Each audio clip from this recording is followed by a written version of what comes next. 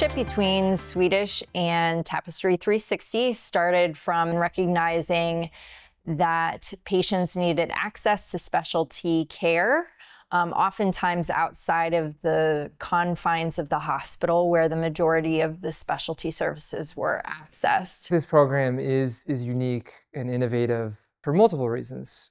One, the co-location, the specialists are physically coming within our center. Two, for uninsured patients to be able to get in with a specialist. Financially, that's often a huge barrier. Normally, when anybody needs to see a specialty department, for instance, pulmonary, cardiology, etc., might take between four to six months to be seen. When I first started having all these issues, we were trying to find different doctors, and it was hard for me to get somebody that'll see me because my insurance wasn't accepted.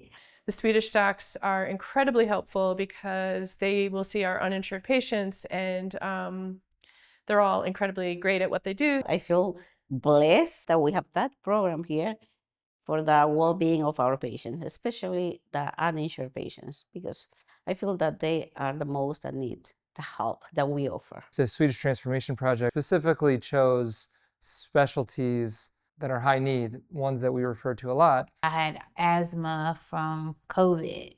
So I see Dr. Macias, and she's been a godsend with that because she actually explains everything to me, break it down, and I, uh, I really appreciate seeing her. Being able to sit with a patient and connect them through the Swedish transformation now, like specialty services, um, there's just so much that I feel like I can offer them in-house. We all choose to work here because we not only see medicine as a way of living, but it's more like a mission. So we feel that we can do best when we come to work with people that need us and we feel that we actually are bypassing all these barriers.